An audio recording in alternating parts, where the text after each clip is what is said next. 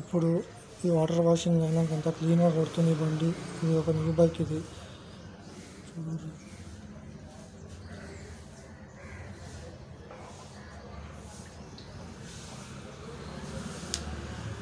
ఇంతకుముందు ఇక్కడ అంతా చెత్త చెత్త ఉండే దుమ్ము దుమ్ము ఉండే మట్టి మట్టి బురద బురద. ఇప్పుడు ఎంత నీట్గా అయింది చూడదు